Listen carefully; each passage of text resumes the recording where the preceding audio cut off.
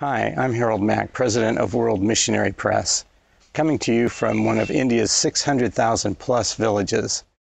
And you know, we see um, over and over again just how critical the need for God's Word is around the world.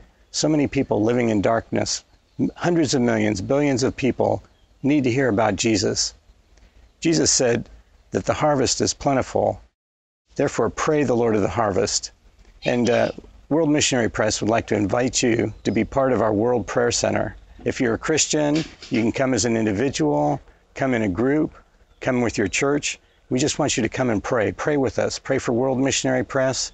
Pray for your communities. Pray for your churches. Pray for your families.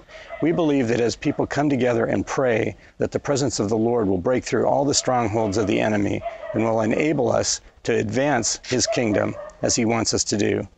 So remember, when Jesus said, The harvest is plentiful, the first thing he wanted us to do is pray. So will you join us?